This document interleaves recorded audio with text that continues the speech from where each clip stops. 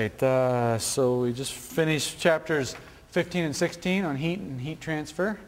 And now we get to start phase changes in thermodynamics with the next set of homework. You get more time with it, but um, you don't have to worry about if you're like going to play all spring break because you still get all the following week. It'll be due on the 24th, as, as WebAssign always tells you the due date. Um, so today will be 17, and the Monday we meet back will be 17, phase changes. And then the next two lectures after that will be thermodynamics. So that gets us to Monday the 26th. Seems so far away now. We'll review and have the uh, third exam on the 28th. 28th. Yeah. We just did 15 and 16. 17 and 18 is now posted. So you can work on it over spring break if desired. Realize uh, I will only have gone over half of one of the chapters, but that's what the book's for. But you can wait to submit until you're, but yeah, it's there for you to start thinking about and look at, definitely. And then after exam three, we'll do the uh, unit on electricity and magnetism.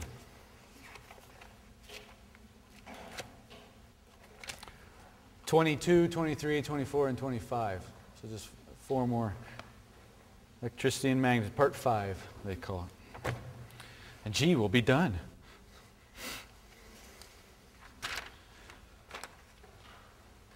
Keep sticking, don't you? Any burning questions?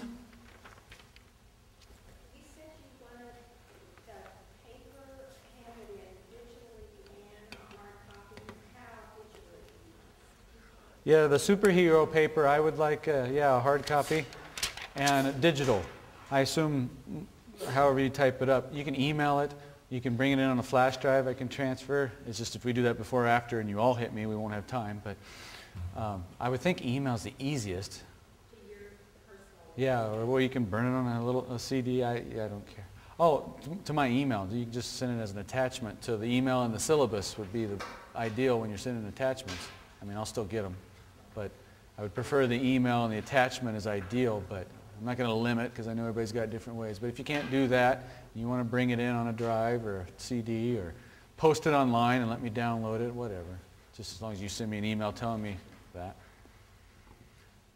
So again, yeah, the superhero paper, that is one of the, in all those instructions. Since we're on it, read those again. That's how I'm going to grade you, so at least you know you're writing it correctly.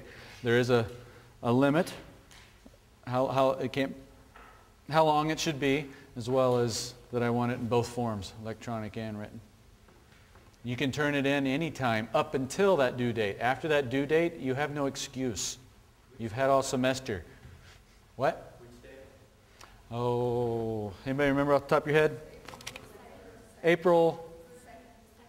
I'm hearing more for the second. It, it's uh, in the resources on WebAssign is, is wait, I got the syllabus right here.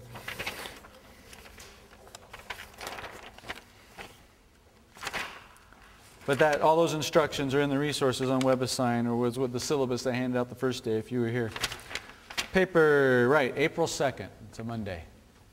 So after that, um, you know, unless you were, oh, I came to turn it in and I got ran over, uh, I don't know why you have an excuse.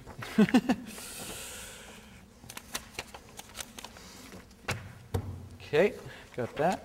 Oh, yeah. I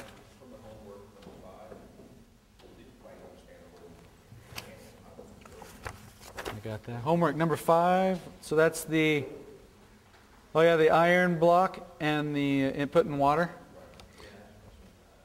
Yeah. So now you can go back and hit the key and see the solutions too. So if what I'm saying doesn't make sense, but I'm right here, so let's do it. So we have This is iron, and it's one kilogram. It's one kilogram, and its temperature is 40 degrees Celsius. And we're going to put that into a kilogram of water at, thank you, 20. We did in class one where uh, we mixed water. Let's start with that one. If uh, this was water and this was water and we got the same mass and we mix them, where do you think the temperature would end? In the middle, 30. Which 30 is, yeah. That's because they're the same materials. They have the same specific heat capacity, the same thermal inertia. So they want to resist change equally amount. So this guy's hotter, this guy's colder. Heat will flow in this direction. So this guy will cool, give up some of his energy, and this person will absorb it and gain it. So we, yeah, we expect it in between. But if they're the same amounts and they're the same material, they should do that symmetrically, equally. And it would end up as 30. These are not the same materials. We have the same amount. That helps. So we're just dealing with one thing at a time. But it's iron in water. Who has more thermal inertia? Water, which means its temperature wants to yeah, stay the same, change less. So it, tries to meet in the middle, but this guy's not going to resist the change more than this guy. So it's going to be, end up closer to 20. So it would be less than 30. Somewhere between 20 and 30. Does that help? Make sense? It does. Um, but go ahead. That's why we're here. I was kind of thinking if you got a red hot piece of iron Uh, red hot piece of iron. that was so hot it was glowing, right? Okay. You drop it in that water, it would continue to give off energy for a pretty long period, not necessarily a long period of time, but a longer period of time, it was just simply. Absolutely. If it was a you know, glowing ember of iron, yeah, it would have it has more energy. It would be at a higher temperature. And yes, it would be able to give off more of its internal energy because it has more. And so it would do that for longer and the temperature of the water would get up to a higher, but this one would have to start higher too. It would still wouldn't end up in the middle. Would not. Would not. Even if this started at 100 C, let's say. Four, 500 C. It would not end up in the middle because lower specific heat, less resistance to temperature change. And so his temperature is going to change at a greater rate than the water. And so he'll come further temperature-wise than the water does. And they won't meet in the middle. Uh, if they're the same masses, yeah. Yeah. So regardless of the temperature of the, the piece of iron, it's never going to exceed half, the, the half of Not if you're, yeah, this will never exceed the halfway point with iron if you're mixing it with something with a greater specific heat capacity. regardless of temperature. Yeah. And let's say we put butted this up to, and now I need to think of something that's lower. I don't know. Um, iron's pretty low.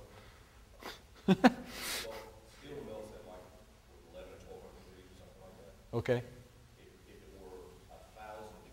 Thousand degrees, 1,000 degrees? Mm-hmm. No. It will not exceed the halfway. Same reasoning. Because he, heat's flowing, but it's flowing uh, from here to there. So this one increases, that one decreases. But this one's going to decrease faster than this one increases. Because this can, it needs to absorb more energy to have the same temperature change. That's what specific heat capacity is. Yeah, actually, yeah, that's this chapter. If this is super hot, this might get up to 100, but then now energy is still re- being come, released from the iron. It's not going into changing its temperature. It would go into changing phase and converting it to steam, even helping us more not have this temperature come up as high, as fast. Yes? I'm, I'm confused about some of the terms you're using, but something that's more, um, resistant to heat change is gonna change heat more, or, I'll try again then. Specific heat capacity, the little c, is thermal inertia. That's how I like to think of it. It's a, you, you, it's, it's a measure, it tells you how much heat you need to raise some, easy, water. One gram of water needs one calorie of energy to raise its temperature one Celsius degree. So it's based on how much it is, changing the temperature. It's how much heat you need to make it change its temperature, up or down. Thermal, thermal inertia. If it has more thermal inertia, more, a greater, larger specific heat capacity, then it's going to resist that change more, meaning it won't change as quickly. You need more energy in or out to have the same effect temperature-wise. So more thermal inertia means that the difference in temperature is going to be less? Yes. Okay. Yes, it'll be, the t- yeah. If you put heat into this, it can go into increasing its internal energy as well as raising the temperature. That, I, I assume, makes sense to you.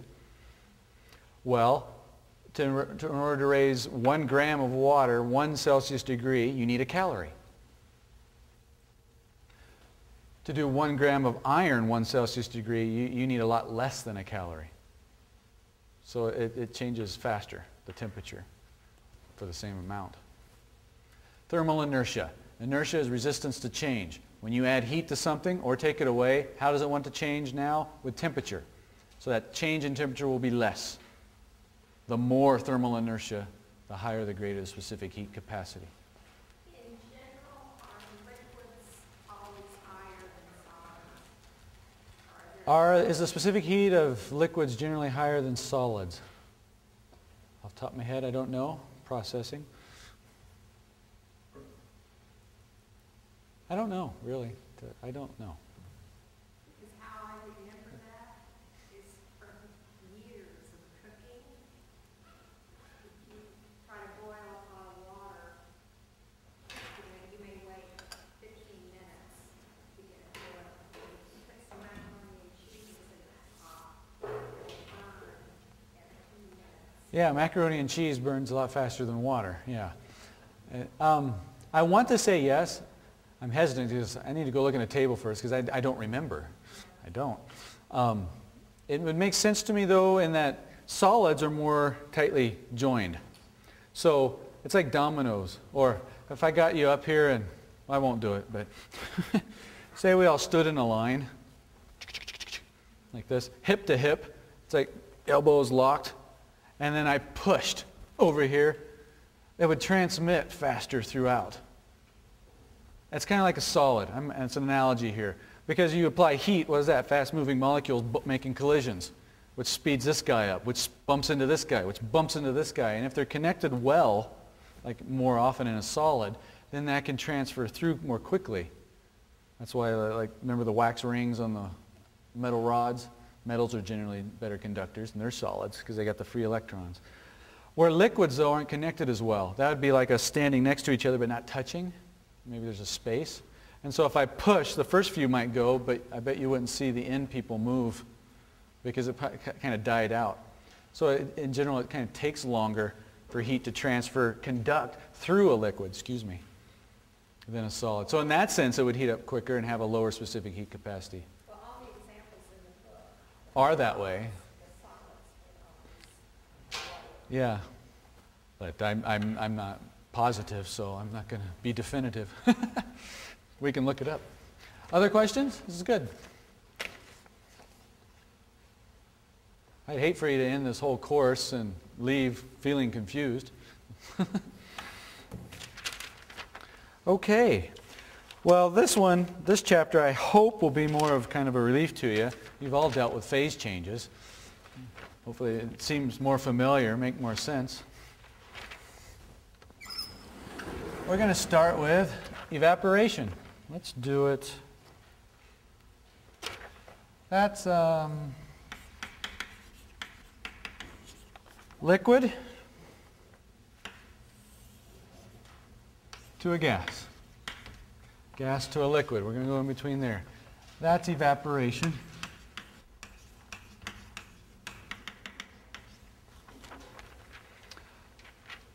Is this new to anybody? Well, we'll just understand a little bit why and the heat transfer behind it. I'm going to go back to my molecular motion demo.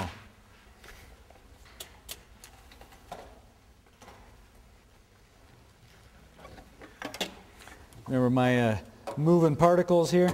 We're going to create some.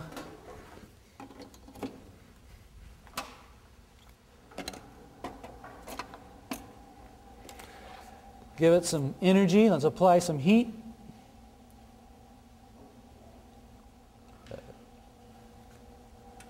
Guess it helps if you focus.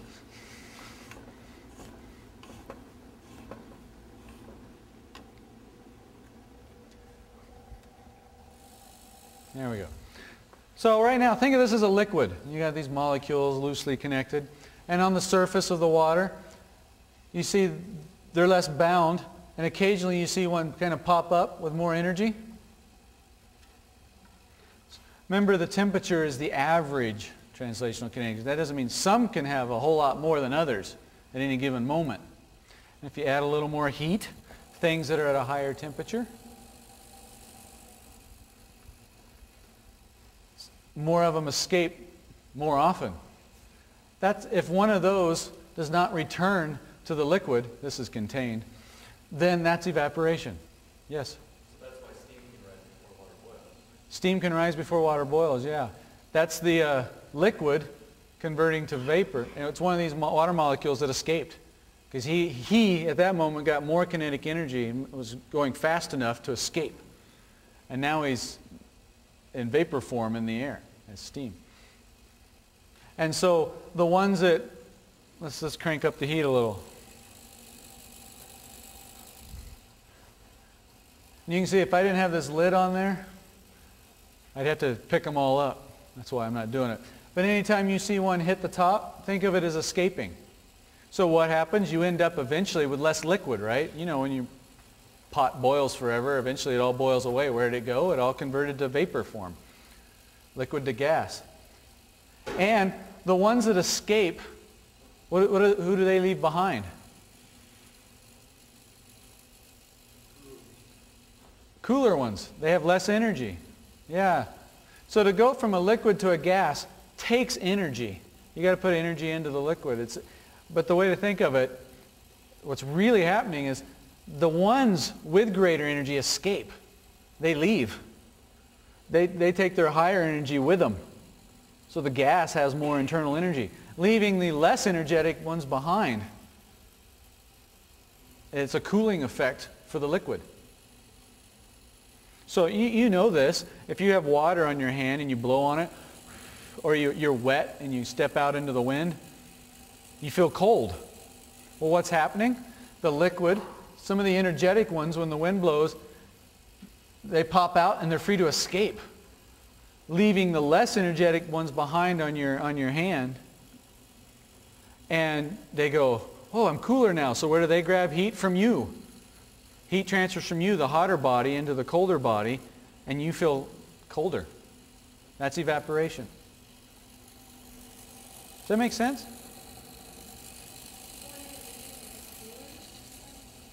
The ones that are leaving are more energetic. It's like they take the, some more energy with them, and the gas now has more energy. The ones left behind are the less energetic ones, yeah. They get colder than they were on average. So this would uh, evaporate very quickly. So the hotter something is, the more heat you apply, the more likely evaporation is. So the warmer the air, that can affect things. Or the, yeah. Do you have another one?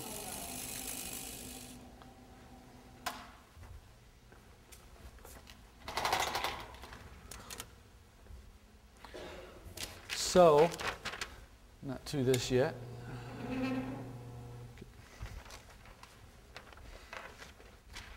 In your notes, put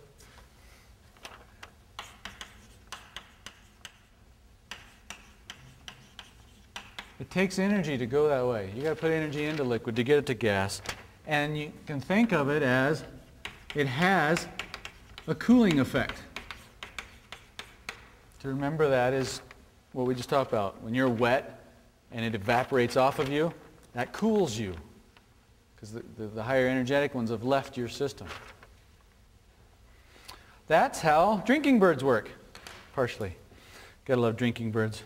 Okay, who saw, who saw the, the Simpsons episode? Where he's, yes, yes, it's great. There's a watch now. The face is a drinking bird. I'm not sure if it's just moving continually or if it's like a hologram thing as you tilt it, but it's got a, the whole face, it's got the numbers around, of course, you know, little marks, but the face is a drinking bird that it's just doing this. I got to get one. Okay. So I set up two of them here, and has anybody been observing and noting a difference? The red one's going what? You're correct. Good scientists make observations, and that's what I want. I was hoping somebody would notice. The red one is going more quickly. The way these work is the head is felt. So I've dipped the head in liquids to start. Well, it evaporates. That takes energy. The energy go, kind of goes away with the higher energetic gas, leaving behind the less energetic ones on the head, which is a cooling effect. What do you think that does to the uh, molecules inside his head? Yeah, it can, cools them by conduction. And the pressure in his head then, if his head gets cooler, do you think the pressure in his head increases or decreases? It decreases. The greater pressure in his hiney uh, pushes the fluid, the colored fluid, up his neck because of a pressure difference, which all got created by evaporation. Once the fluid gets too high, his center of mass shifts and he tips. And then, of course, he, if you have a container, he can re-wet through capillary action, surface tension, keep his head wet to continually evaporate, and this seems to be a perpetual motion machine until the fluid runs out and it all evaporates away. So it's two different liquids. This one must be evaporating more quickly. So guesses of what I used? Yeah, isopropyl alcohol. Makes them go faster because it evaporates quicker than water. That could be fun if we used gasoline. And then go get the torch. yeah. I could light him too, but I, I like him. But this is great because there's lots of concepts there. But it starts because of evaporation, which is a cooling effect. Drops the pressure. Now there's a pressure difference, pushing the fluid up. And how much? It gets taller, taller, taller. The higher up that gets, that's telling me there's a greater and greater pressure difference because it has to support that column of water. It's probably actually alcohol in there, but anyway. You get the idea. Um, save that one. Okay, condensation. That's the other direction. It's the opposite of evaporation.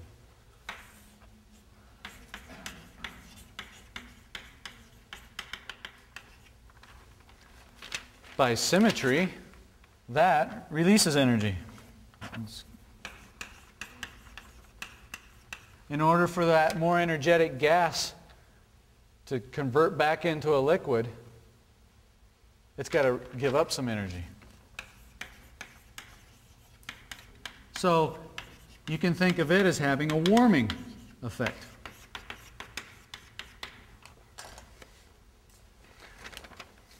Um, if you think of those energetic particles, if they get near the surface of a liquid and they run into it, which is going to happen, if they got a lot of energy, maybe they bounce off. But if one, you know, occasionally, and if they slow down, they'll coalesce and they'll stick to the surface. Two water molecules stick to each other, surface tension. So if one comes in slow enough, it'll stick. And now it's, it's liquid. It's become part of the liquid. It gives off some energy. So the gas cools, but the liquid warms up.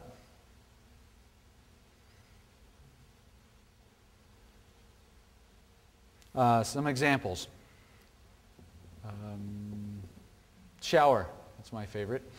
Uh, you get out of the shower, and I, I tell my wife, don't open the doors and if you got to come in and use it, that's fine. But when you hear the water stop, give me a moment. Because I don't want all the uh, water vapor in the room to escape. Why? Because it keeps me warmer until I get my clothes on.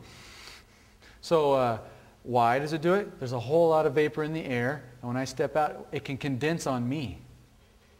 And when that vapor converts back into liquid, it has to release some energy. And I absorb it and warm up. It can keep me warm if there's enough vapor there. So how about this thing of water? It's just sitting here. Is it evaporating? You sure? Or is it being condensed? Is it being condensed at all?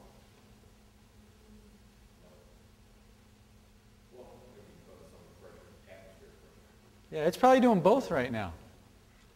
Uh, there's vapor in the air, and so if it runs into it going slow, it could be condensing but I'm sure it's evaporating well. That one seems to make more sense to us. But it's doing both. If evaporation's winning, what do we expect to happen? Eventually this will be gone, yeah. And in Utah, that's probably the case. The humidity is very low. As my predecessor used to say, Utah is drier than a popcorn fart.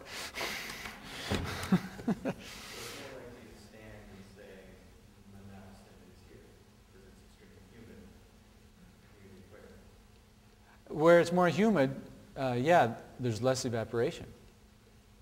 Well, maybe there's the same, but the net effect is uh, less.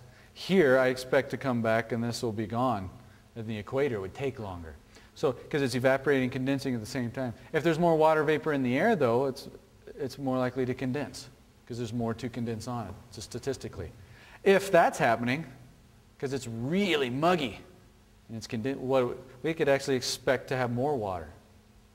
We usually don't see that as often. Because more water than this? Probably not, but more than here. And so you have to watch out when you leave your bread out. Depends on where you live, how hard it gets or, or whether it gets moldy. It has to do with the, the gas in the room and the, the rates, the balance there between these two. If they're perfectly balanced, that should stay the same amount of water forever. Yeah. So explain rain, when it's not raining, but it's real humid. Raining while it's humid. I'm sure it's affected by the temperature. I'm just trying to think, the warmer the temperature then, the more it would condense into rain.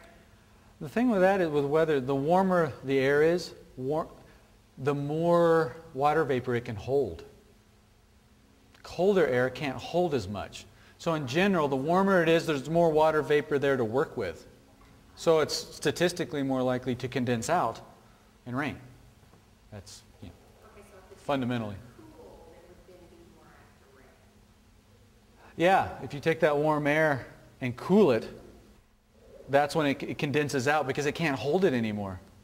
And I see this. I sleep with a humidifier uh, because I just get dry. I grew up in Kansas where it's a whole lot more humid than here, and I just haven't adapted yet.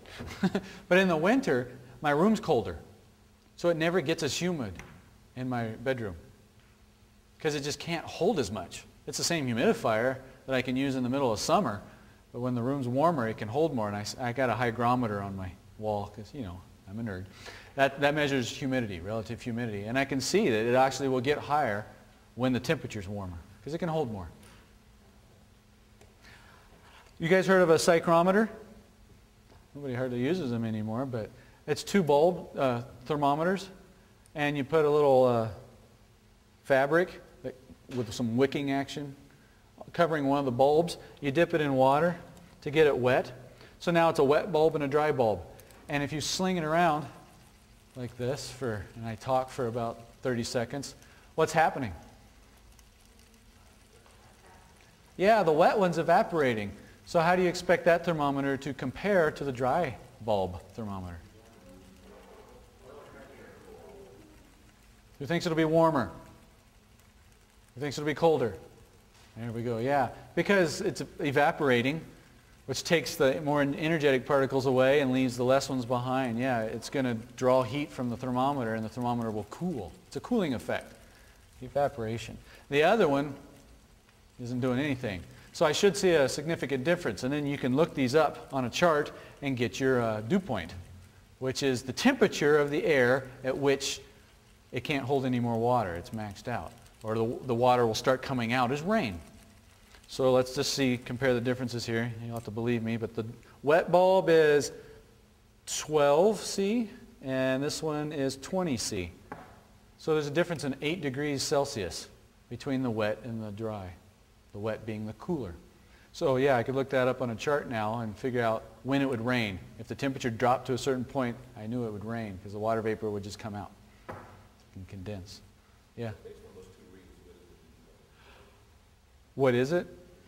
I don't know. I have the calculation. They usually look it on up on this big scary looking chart. Curvy and it's not linear. but it's fun. And it's that simple. Um, let's do this one. Got some pop cans here. Put some water in them. And we got some steam coming out, I think. Good, I waited long enough. Crank it up. What I'm going to do is take one of these, turn it upside down into this uh, of water. This of water, that was good. what do you expect the, uh, I'm waiting for the steam to come out. It's displacing the air, and so it's mostly full of uh, water vapor, steam. What do you think will happen to the steam when I capsize it into the dish of water?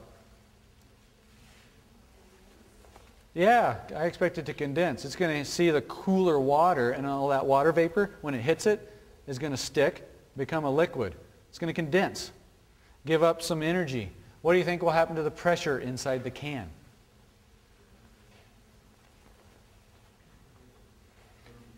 It decreases. Think of it, it's full of steam, and a lot of that steam condenses into liquid, which takes up less space. So yeah, it's going to be less dense in there. Decrease the pressure of the can. What should the air in the room do? Here we go. It crushes. We'll let this one get even hotter. The atmospheric pressure of the air pushed in on it where there was less pressure. And again, the less pressure was created by, uh, in this case, condensation. I think that's cool. I've done this with a 55 gallon drum. That's fun. I just don't like storing all those.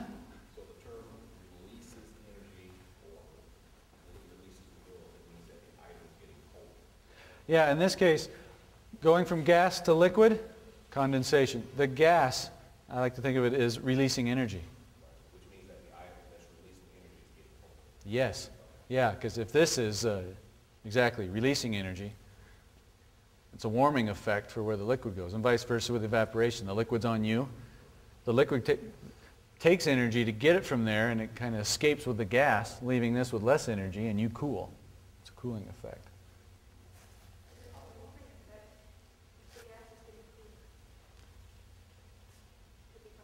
Yeah, and I'll admit, if that confuses you, don't think of those because this applies, like in this case, it's more specific to the liquid.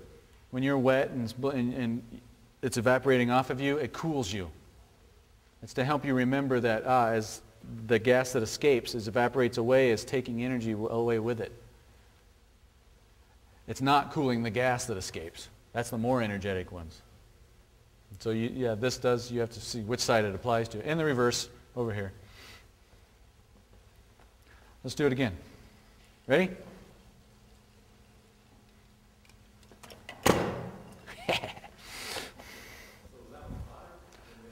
Yeah, I gave it more time to have steam come out, yes.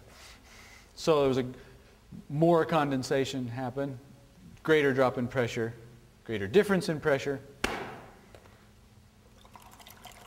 more smush, imploding pop can. Simple enough to do. You can try it at home on your stove. Where did I put my paper here? Let's pour some liquid nitrogen into this pop can.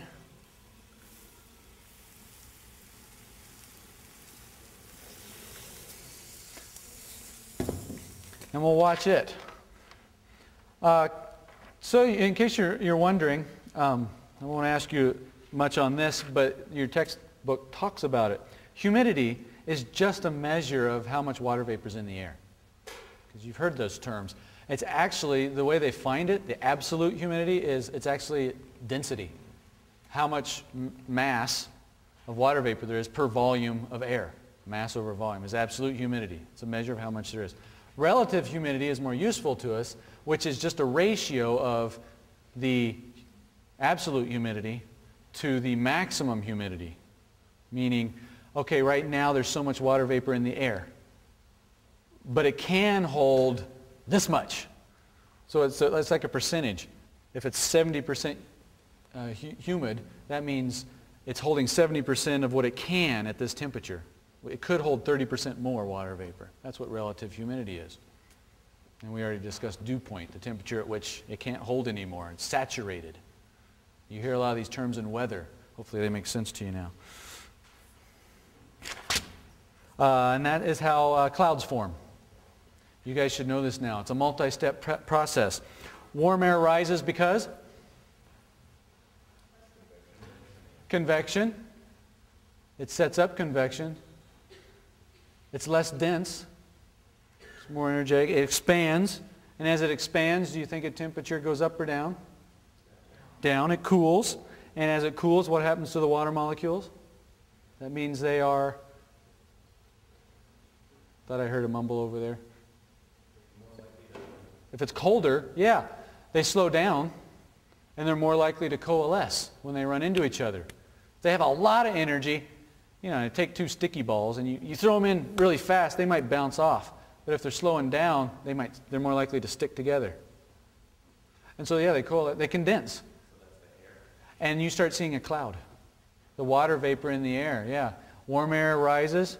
As it does so, it expands, which cools it, which slows down the water molecules. And we just said, when air cools, it's more likely to condense. The water vapor that's there is, is more readily available to coalesce and condense and start forming little water droplets. They can build on each other, and you get clouds. Or fog. Fog is just a cloud on the ground. Uh, on, on, a hill, if you have uh, our mountains, the air comes in. If it goes up, it's rising. There's less pressure up here. So it expands, cools, and where are you likely to form clouds? Above mountains. So you can take, and uh, so it cools. The air up here is generally colder than down here. The reverse is true too, though. If you got cold air up here and it comes down, it warms up. You can feel a warm front in here. The reverse happens. It comes down. The pressure is greater here. That contracts it, compresses it. It's like me squishing the air in the pop bottle. And the temperature goes up things are more likely to evaporate because they got more energy. So you can get cooling and warming effects that way. Boiling uh, is uh, another way to think of evaporation. Evaporation is that the more energetic molecules leaving from the surface. Think of boiling as just evaporation underneath the surface. There's molecules down there, but if you keep applying heat, eventually they're moving fast enough, they want to separate even in the liquid itself. And they start forming bubbles. And the only way those bubbles can form is if the pressure, the vapor pressure, because some of it evaporates into gas and that gas is trapped, if it can maintain itself, the bubble will get bigger lest it rise up. And that's boiling. What's it competing against? The vapor pressure. Yep atmospheric pressure pushing down on the liquid itself and the weight of the liquid it's in in the first place, the water. Yeah, if it's at the, usually, you know, on your stove, the, the heat's down here and you got this much water. So all of that water is pushing on it too. So it has to overcome both of those pressures. And if it, absorbs enough energy and they have a, they're moving around fast enough, they can create that, a large enough vapor pressure to make the bubble expand and you get boiling. But it's just evaporation, liquid going to gas underneath the surface. I think it's a cool way to think of it. Think of it. There's a good image in your book where they draw. And you're applying your heat to your pot. You got a bubble. So the gas is pushing outward. The liquid's pushing in due to its pressure. And atmosphere is pushing down as well. So you can change the boiling point of something. Normally, it'll start boiling at 100 degrees Celsius. But here in Salt Lake, it boils a little less. The temperature's a little lower. Why? Yeah, this is smaller. There's less atmospheric pressure, and so it doesn't need as much vapor pressure in here to expand. So if we, we went even higher, it'd boil sooner at a lower temperature. Let, let, did you just hear somebody yell, help? we'll see. Um, let's say it boils at 90 degrees C. You're high enough up, it boils at 90 degrees C instead of 100. Will your food cook as quickly? No, because it's not as hot. It'll take longer to boil your uh, macaroni and cheese or your egg. It's still boiling, but at a lower temperature. Yes? So is, would there be a difference between boiling water in a tall skinny pot or a short fat pot? Absolutely. Yeah. A, a tall skinny pot versus a wide one. It's starting to boil down here and that's like a geyser. This, there's more weight here. And if this is really tall, then that's increasing the pressure and that raises the boiling temperature, the boiling point. It won't, it can't start boiling until it's got more energy at a higher temperature. And if it's really skinny, you can't have convection. Remember that my chimney that wouldn't go? Because it's trying to convect the warm air or warm liquid tries to rise and the cold air tries to come down. But if that's too skinny, you can't create a convective air fluid, uh, flu- flow. And so this gets even hotter and hotter and hotter. And eventually, this will start boiling. And what's in its way? This. And it pushes it out with it. And that's, that's a geyser. I, I, expect, I hope to set one up Monday when you guys get back. We'll see a little tabletop version. So it won't boil more quickly, but when it does boil, it will be hotter. Yeah, when you increase the pressure, it takes more vapor, vapor pressure. It needs more energy, so it won't start boiling until a higher temperature. So increasing the pressure raises the boiling point, and decreasing the pressure lowers the boiling point. Boiling doesn't cook things. The temperature cooks things. The hotter something is, the faster it'll cook. Yeah. Yeah, water boils at 100 degrees Celsius if it's pure water and at sea level. So that's a yeah, standard atmospheric pressure at sea level only. Um, pressure cookers then. How do they work? They do what faster? Well, is your food, food done more quickly or slowly? More quickly. So let's work backwards. They cook faster. That must mean what about the temperature? Yeah, they get hotter. Well, wait, I thought water boils at 100 degrees C. It's preventing the boil until it gets to a higher temperature. If you increase this pressure by closing it off, then th- these, this value can get big. That the, this, the surface can evaporate and create a lot more gas in here. And as you fill that up, it becomes more dense and increases the pressure above because it's, it's, it's trapped, which then inhibits boiling from occurring down here until even more energy is put in. That allows the boiling point temperature to rise so it boils at a higher temperature. And temp- now that it's at a higher temperature, it cooks your things more quickly. It's a great invention. As long as you have a release valve and you make sure it's working properly. Otherwise, you just created a bomb. Are you aware that you can't cook beans in a pressure cooker or it will explode? And I'd like to know why. I remember reading mine. My, I don't use it much. There's certain yeah, foods that aren't good to do in there. I remember reading that. I don't remember the answers yet, but I do remember you can't, if you can't overfill it, because if they clog these things up, and I think beans are more likely to expand, get foamy, and it clogs up the uh, release valves, which then allows the pressure not to escape, some of it, which just means you just created a bomb, and boom, you got beans all over your kitchen, as well as pot shrapnel. So, but yeah, you have to be careful how you don't want to ever overfill them, and there's certain things uh, you don't want to put things in your water either when you're doing rice if it makes it all foamy. I remember that now too. Same reasoning. Let's boil water by lowering the pressure, shall we? This is, you see the steam coming out? You convinced it's boiling?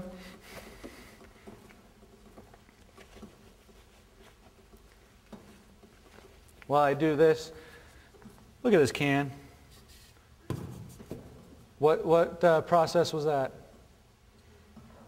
Condensation. The water vapor in the room, when it ran into the very cold can, it slowed down and coalesced and condensed onto the can. And then it's, it's so cold, what did the, uh, then the liquid do? Froze into a solid because it pulled even more energy out of it. So it condensed it and froze it.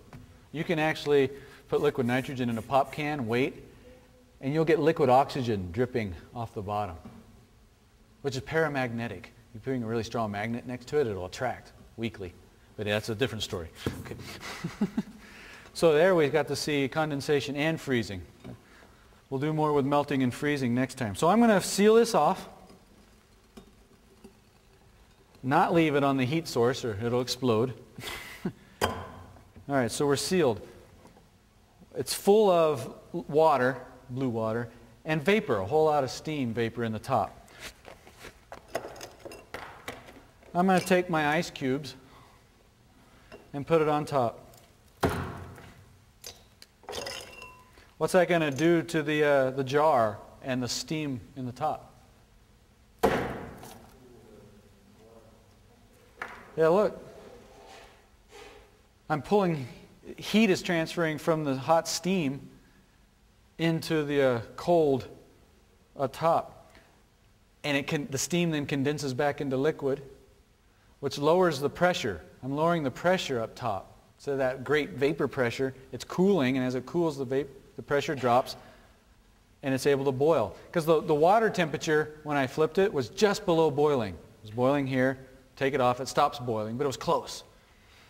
So just by dropping the pressure a little bit with ice, you can get it to boil.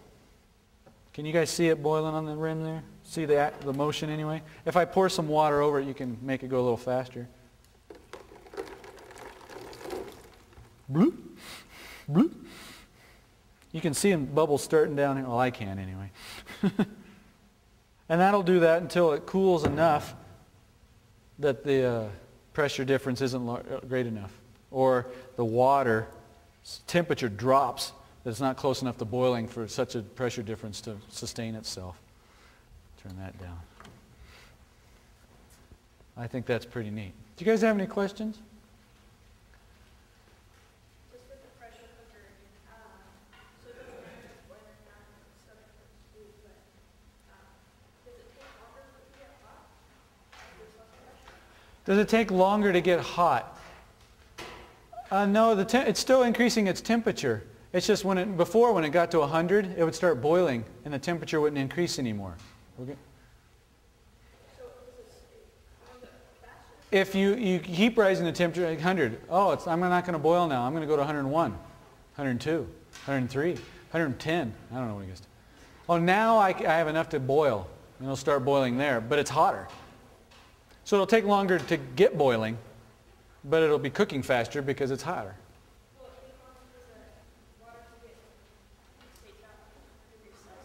Will it take longer for it to get to 100 degrees? It probably... Not exactly. The biggest thing that helps though is the fact you have a lid on it. And convection can't take the steam away. It stays in there. And that helps anything with a lid on heats up more quickly. That's the biggest factor. But the vapor pressure hinders the boiling, but not the temperature, because heat, this heat is still being applied. It goes into something, just not raising the temperature once it starts boiling. That's the end of this chapter. So, well, I didn't do a clicker question, darn it. Oh well. Everybody that's still here, just pull your clicker out and hit something. I'll give you a point.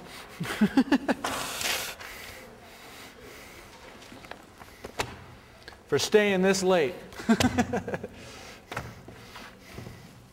Polling's open. If you want to pull your clicker out and hit something, it doesn't matter. I'll give you a point.